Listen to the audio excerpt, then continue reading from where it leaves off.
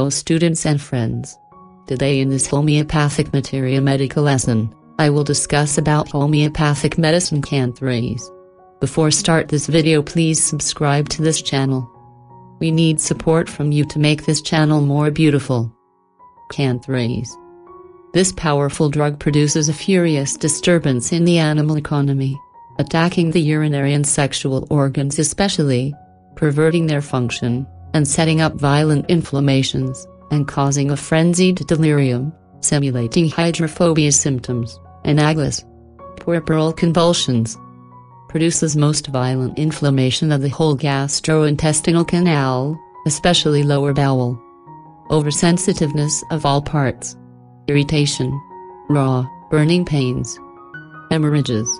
Intolerable, constant urging to urinate is most characteristic gastric, hepatic and abdominal complaints that are aggravated by drinking coffee, gastric derangements of pregnancy, dysuria, with other complaints.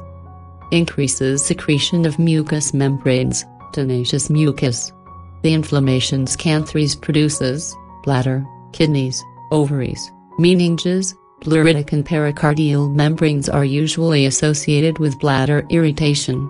Mind, furious delirium, anxious restlessness, ending in rage, crying, barking, worse touching larynx or drinking water. Constantly attempts to do something, but accomplishes nothing. Acute mania, generally of a sexual type, amorous frenzy, fiery sexual desire. Paroxysms of rage, crying, barking. Sudden loss of consciousness with red face. Head, burning in brain sensation as if boiling water in brain. Vertigo, worse in open air. Eyes, yellow vision, santon. Fiery, sparkling, staring look. Burning in eyes. Ears, sensation as if wind were coming from ear, or hot air. Bones about ear painful, capsic. Face, pale, wretched. Death-like appearance. Itching vesicles on face, burning when touched. Erysipelas of face, with burning, biting heat with urinary symptoms. Hot and red. Throat, tongue covered with vesicles, deeply furred. Edges red. Burning in mouth, pharynx, and throat, vesicles and mouth. Great difficulty in swallowing liquids. Very tenacious mucus, Kali bich. Violent spasms reproduced by touching larynx. Inflammation of throat, feels on fire. Constriction, aphthous ulceration, idromer, nitaceae. Scalding feeling. Burnt after taking too hot food. Chest, pleurisy, as soon as effusion has taken place. Intense dyspnea. Palpitation, frequent, dry cough. Tendency to syncope. Short, hacking cough, blood-streaked tenacious mucus. Burning pains. Stomach, burning sensation of esophagus and stomach, carb disgust for everything drink, food, tobacco. Burning thirst, with aversion to all fluids. Very sensitive, violent burning. Vomiting of blood-streaked membrane and violent retching. Aggravation from drinking coffee, drinking the smallest quantity increases pain in bladder, and is vomited. Thirst unquenchable. Stool, shivering with burning. Dysentery, mucus stools, like scrapings of intestines bloody, with burning and tenesmus and shuddering after stool. Urine, intolerable urging and tenesmus. Nephritis with bloody urine. Violent paroxysms of cutting and burning in whole renal region, with painful urging to urinate, bloody urine, by drops. Intolerable tenesmus, cutting before, during, and after urine. Urine scalds him, and is passed drop by drop. Constant desire to urinate, membranous scales looking like bran in water. Urine jelly-like, shreddy. Male, strong desire, painful erections. Pain in glands, Prunus, Pareira. Priapism in gonorrhea. Female, retained placenta, September, with painful urination. Expels moles, dead fetuses, membranes, etc. Nymphomania, plat, hyos, latch, stram puerperal metritis, with inflammation of bladder. Menses too early and too profuse, black swelling of vulva with irritation, constant discharge from uterus, worse false step, burning pain in ovaries, extremely sensitive, pain in os coccyx, lancinating and tearing, respiratory, voice low, weak feeling, stitches in chest, Bry, calci, squilla, pleurisy, with exudation, heart, palpitation, pulse feeble, irregular, tendency to syncope, pericarditis, with effusion, back, pain in loins, with incessant desire to urinate, extremities, tearing in limbs, ulcerative pain in soles, cannot step, skin, dermatitis venenata with blood formation, secondary eczema about scrotum and genitals, following excessive perspiration, tendency to gangrene, eruption with mealy scales, vesicular eruptions, with burning and itching, sunburn, burns, scalds, with rawness and smarting, relieved by cold applications, followed by undue inflammation. Erysipelas, vesicular type, with great restlessness. Burning in soles of feet at night. Fever, cold hands and feet, cold sweat. Soles burn. Chill, as if water were poured over him. Modalities, worse, from touch, or approach, urinating, drinking cold water or coffee. Better, rubbing.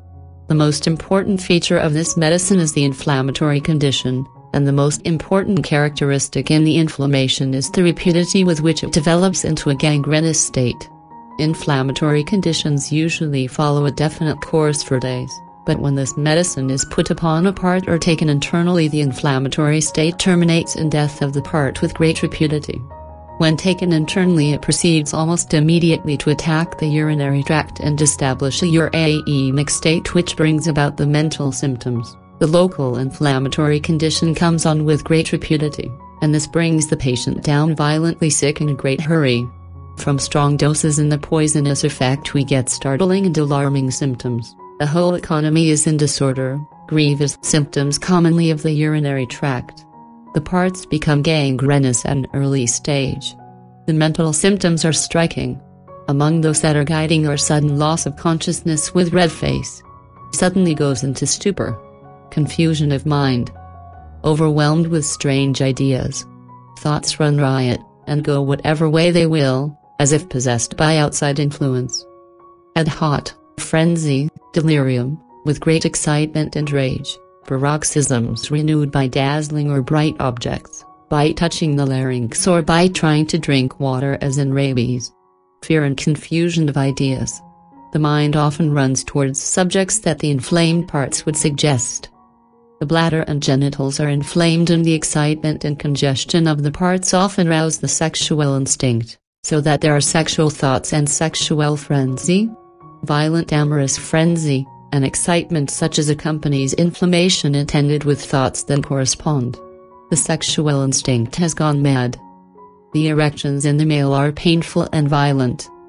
The penis is inflamed and sore and it would be painful to have coitus, yet there is this frenzy, insolence, blasphemy, restlessness ending in rage, restlessness causing him to move constantly, a raging delirium intermingled with amorous frenzy. This kind of mental conduct in Cantharis is similar to what will take place in Hyos, Phos, and Sekal, a violent delirious state intermingled with sexual ideas and talk. In some instances he deliriously sings lewd songs and prattles on the subject of human genitals urine and faces, a wild raving on subjects not talked about in health except among the depraved. But in disease, chaste and modest persons, virgins, will speak so that it is surprising where they have picked up such language. In such cases it is well to exclude everybody from the room except the nurse and doctor. I have seen a dear old mother weep and wring her hands and say, Where did my daughter learn such language? The daughter is not to blame. It is simply a condition of the urinary tract or the menstrual function, brought on from cold or exposure, or through the mother's neglect to tell her daughter what she should know in regard to her menstrual function, and now there is inflammation of the ovaries or uterus, or outside parts, and the urine burns and causes an inflammatory condition of the outer parts, or the urine is retained and there is frenzy, such as Cantharis. Violent, bursting, lancinating headaches as if stabbed with a knife, an inflammatory condition that takes hold of the mind violently. Running all through the remedy there is burning. In the head burning, throbbing and stabbing. Unconsciousness and delirium in the mental state. Burning in the side of the head. Stitches in the side of the head and occiput. Lancinating pains deep in the brain. Hair falls out. It is seldom indicated in night troubles alone, except such as come with head and mind symptoms. Erysipelas of the face with large blisters. Burning in the eyes and the whole atmosphere looks yellow. Burning and smarting in the eyes. Erysipelas of the eyes, with gangrenous tendency. Eyes hot, scalding tears. Erysipelas of the face, dorsum of the nose, involving the lids. Rhus is more commonly used in this condition, but when it is violent Canth will often be indicated and preferable to Rhus. Rhus has the blisters and the burning, but in Canth between your two visits the erysipelas has grown black, it is dusky. A rapid change has taken place, and it looks as if gangrene would set in. Burning in the erysipelatous area and the skin around burns from the touch. In Rhus this is not so. In Cantharis the little blisters even if touched burn like fire. Eruptions burn when touched, ever so lightly, i.e., those eruptions such as the remedy could produce. This patient enters into a state of prostration, is pallid, has Hippocratic countenance and dies. It corresponds to the lowest forms of disease, even gangrene and violent inflammation of the bowels, bladder, brain, spine and lungs sinking in Hippocratic countenance. Inflammation of the lungs, gangrenous type, prostration and the lung that is affected burns like fire. And immediately he expectorates cadaverous smelling expectoration, thin, bloody, watery, it has come on in an astonishingly rapid manner. And in a little while he will die, the nose is contracted, there is the Hippocratic countenance, and the urine is suppressed. I remember one patient who had just come out of a prolonged drunk, I left the patient in the evening in just such a state as I have described. He was drooling a bloody saliva from his mouth and he was dying. He had had this condition come on in one night from being nearly frozen in a drunk. It would be Cantharis or death before morning, but by morning he was expectorating a rusty sputum and went on to good recovery. Arsenic has the burning in the lungs and he spits up black sputum, pneumonia signs are present, with a restlessness and anxiety and other symptoms of arsenic, and arsenic will stop it at once. These violent remedies are needed in those cases that will die. Burning in the throat. Great thirst. With burning in the throat and stomach. Thirst, with aversion to all fluids, that is, the craving of the mouth and throat are antagonized by the mental state. Thirst in the throat and an aversion to water in the mind.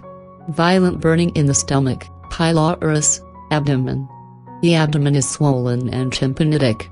Lancinating pains cutting and stabbing. Wherever there is a rapid inflammation in the bowels there is diarrhea of bloody mucus or serum, watery, bloody fluids from the bowels and stomach. The same watery bloody fluid from the eyes. And wherever this watery fluid comes in contact with the skin it burns and excoriates. Bloody urine. Desire for stool while urinating. The patient will sit on the commode with violent tenesmus to pass urine and stool, feels that if he could only pass a few more drops of urine or a little more bloody stool he would get relief, but no relief comes. A tilde all the parts are inflamed and on fire.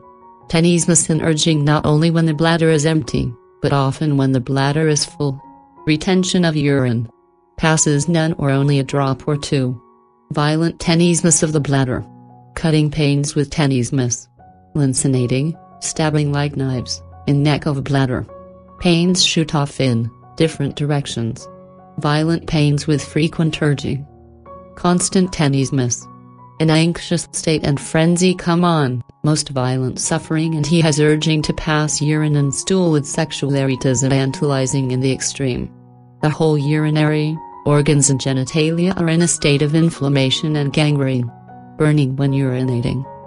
This bloody urine burns like fire in the bladder and about the genitals. Retention or suppression of urine. It is rare that one suffering from gonorrhea has this violent inflammation, with burning and tenesmus of the bladder and rectum, but in such a case this remedy is indicated. The intensity and rapidity are the features of this remedy. It brings on pain and excitement found in no other remedy. Next to it comes Merc. Core.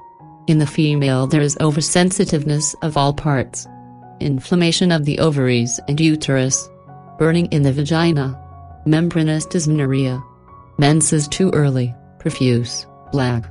Puerperal convulsions. Retained placenta. Burning pains. When there have been no expulsive pains present to expel the afterbirth, with the symptoms running all through this remedy, after it has been given, normal contractions of the uterus have come on with expulsion of the membranes. Violent lancinating pains through the kidneys and back. Pains in the loins, kidneys and abdomen. Pain on urinating, so that he moaned and screamed on passing a drop. Thanks for watching this video. For more updates please subscribe this channel and press the bell icon to learn homeopathy course online.